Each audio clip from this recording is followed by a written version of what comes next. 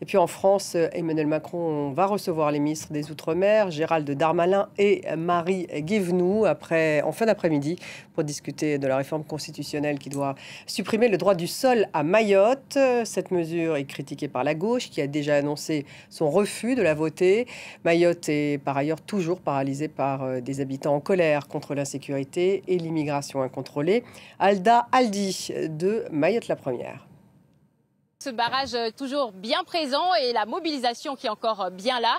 Effectivement, les euh, manifestants, les forces vives demandent des exigences écrites, des engagements écrits de la part de Gérard Darmanin. C'est ce qu'ils lui ont d'ailleurs demandé hier. Celui-ci s'est engagé à leur donner tout ça d'ici à demain. C'est pour ça qu'ici, les gens s'attendent à ce que dès ce mercredi, les barrages soient levés. Alors comment expliquer cette défiance?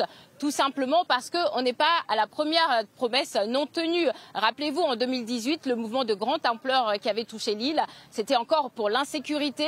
Et depuis, les crises s'enchaînent de plus en plus graves. Crise de l'eau, crise sécuritaire, crise migratoire, sans qu'on trouve réellement de réponses concrètes. Dernier exemple en date avec euh, l'échec cuisant de l'opération Wambushu.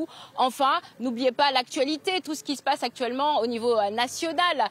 il y a quelques semaines, le Conseil constitutionnel avait censuré une grande partie à des mesures de la loi immigration, des mesures qui auraient pu aider Mayotte à lutter contre l'immigration clandestine. Et aujourd'hui, on nous parle d'une euh, suppression du droit du sol sur le territoire. Autant dire que personne n'y croit vraiment ici. C'est pour ça que les forces vives misent essentiellement sur le, titre, le, retrait du titre de séjour territorialisé pour que tous les étrangers régularisés sur l'île puissent quitter le territoire et, disent-ils, permettre à tout le pays de réaliser que les lois qu'on impose à Mayotte ont des conséquences.